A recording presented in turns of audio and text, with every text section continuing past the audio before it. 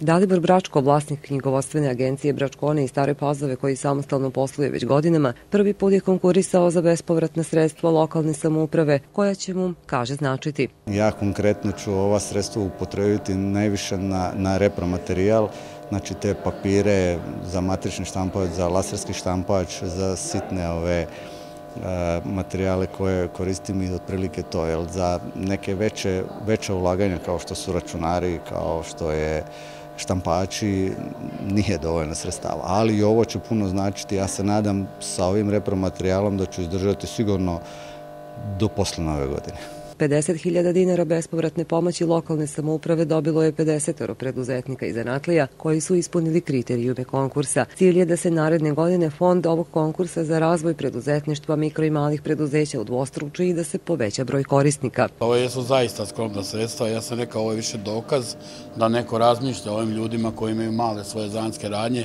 ali koji ipak doprinose i da se ljudi zapošljavaju i da se budi budžet opštine, tako da mi osjećamo kao jednu potrebu da koliko možemo možemo kao lokalna uprava pomognemo i uopšte pomognemo generalno razvoju privrede u našoj opštini svake naredne godine, ovo mislim da je ovo peta godina ili četvrta, peta godina i svake naredne godine očekujemo da će biti i veći broj kao što jeste i ove godine veći broj nego prošle i pretprošle.